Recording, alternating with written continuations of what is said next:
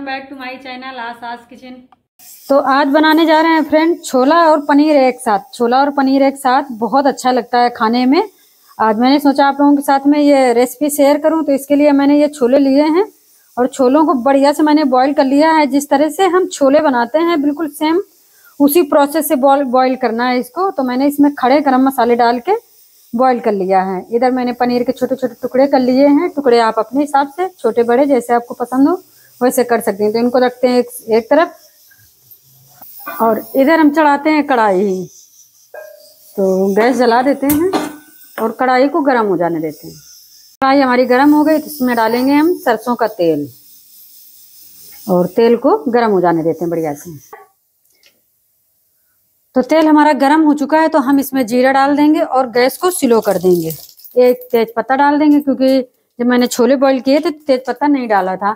और ये मैंने अदरक, लहसुन, हरी मिर्च, टमाटर, प्याज ये सब मैंने पेस्ट बना लिया। तो ये डाल देते हैं इसको साइड और इसको बढ़िया से मिक्स कर देते हैं और इसको अच्छे से भूनेंगे क्योंकि मैंने टमाटर वगैरह सब एक साथ डाल दिए थे। तो इसको अच्छे से भुनाई करेंगे। इसी के साथ हम थोड़ी सी हींग इसमें ऐड करेंगे और मसाले डाल देंगे। तो मसालों में सबसे पहले जाएगा हल्दी पाउडर, धनिया पाउडर थोड़ा सा और डाल देंगे। और अब इसमें थोड़ा सा हम गरम मसाला भी डाल रहे हैं और इसे मिक्स कर देंगे बढ़िया से। तो लाल मिर्च अभी हम नहीं डालेंगे। आप लाल मिर्च साथ में डाल सकते हैं, लेकिन अभी हम नहीं डालेंगे। लाल मिर्च हम बाद में डालेंगे। और इन मसालों को हमें बहुत अच्छे से पकाना है, जब तक इनकी बढ़िया सी खुशबू ना आने लगे और तेल ना छोड़ दे मसाले। तो ये देखिए, मसाले हमारे अच्छे से भुन रहे हैं, लेकिन मुझे और भूनना है, तेल भी छोड़ने लगे तो इसी के साथ में थोड़ी सी हम हरी धनिया डाल देंगे। और इसे भी बढ़िया से मिक्स कर देंगे। और अब पकने देते हैं धीमी आँच में मसालों को। तो ये देखिए, मसाले हमारे अच्छे से भुन गए हैं, इनमें से अच्छी खुशबू आ रही है और ये तेल भी छोड़ दिए हैं। तो अब इसमें हम पानी डालेंगे। तो ग्रेवी आप अपने हिसाब से पतली गाढ़ी जैसी आपको पसंद हो, वैसी रख सकते हैं। और इसमें थोड़ा सा नमक डाल देंगे।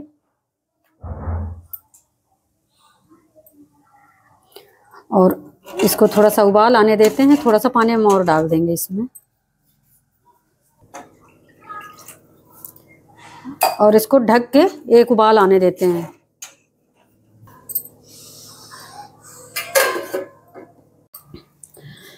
तो ग्रेवी में बढ़िया सा उबाल आ गया है तो अब इसमें हम ये छोले डाल देंगे। तो छोले में थोड़ा सा पानी था, वो भी मैंने उसी में डाल दिया है।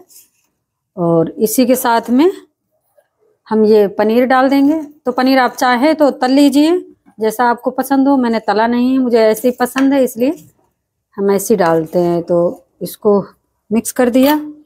थोड़ा सा इसमें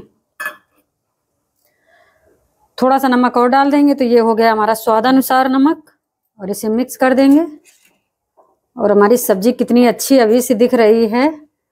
तो अब इसको हम ढक के धीमी आँच में पकने देंगे। पहले तेज आँच में हम इसको खौला लेंगे, इसके बाद धीमी आँच में कम से कम पाँच सात मिनट तक पकने देंगे। तो हमारा इसमें उबाल आ जाने देते हैं।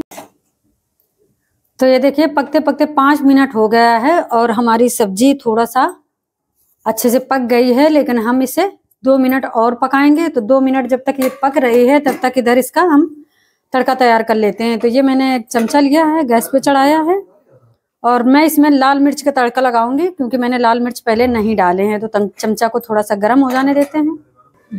चमचा हमारा गर्म हो गया, इसमें हम बहुत थोड़ा सा तेल डालेंगे, ज़्यादा नहीं डालेंगे, बस इतना सा ही। क्योंकि सब्ज़ी में मैंने ऑलरेडी तेल हम उतना डाल चुके थे जितना हमें सब्ज़ी में चाहिए था। तेल को अच्छे से गर्म हो जाने देते हैं। तो तेल हमारा बढ़िया से गर्म हो गया है तो ये हम कश्मीरी लाल मिर्च ये डाल देते हैं इसमें और गैस को बंद कर देते हैं। और ये तड़का जाएगा हमारी सब्ज़ी में और इसको इस तरह से ढक देंगे। अच्छा सा फ्लेवर आ जाएगा, गैस को बंद कर दिया। तो गैस को मैंने बंद कर दिया है और पाँच मिनट हम इसको ऐसे ही ढक के रखेंगे, इसके बाद खोलेंगे सब्ज़ी। पाँच मिनट हो चुके हैं और सब्ज़ी हमारी बन के तैयार हो चुकी है और कितनी अच्छी लग रही है ये। देखिए, अभी भी चमचा हमारा गर्म है और अब इसमें डालेंगे थोड़ा सा गरम मसाला ऊपर से और थोड़ी सी हरी धनिया। ये गई और ये लीजिए हमारा छोला पनीर। पतले रस्से का बन के तैयार हो गया है। तो रसा, आप अगर आपको गाढ़ा रखना है तो आप गाढ़ा रखिए। और मैंने थोड़ा सा पतला बनाया था क्योंकि मेरे बेटे को थोड़ा सा पतला रसा पसंद है। तो इसे आप रोटी के साथ चावल के साथ, किसी के साथ भी खा सकते हैं। ये बहुत टेस्टी लगेगी। तो ये हमारी छोले पनीर की सब्ज़ी बहुत ही टेस्टी बनके तैयार हो गई है। आप लोग एक बार ज़रूर ट्राई करिएगा फ्रेंड्स। सभी को बहुत पसंद आएगी। तो आप लोगों को अच्छी लगी हो तो लाइक, शेयर, कमेंट करना। चैनल में नए हैं तो सब्सक्राइब करना। एंड बेलाइकन को दबाना तो बिल्कुल ना भूलना। मिलते हैं फ्रेंड्स अगले वीडियो में। तब तक के लिए bye bye and take care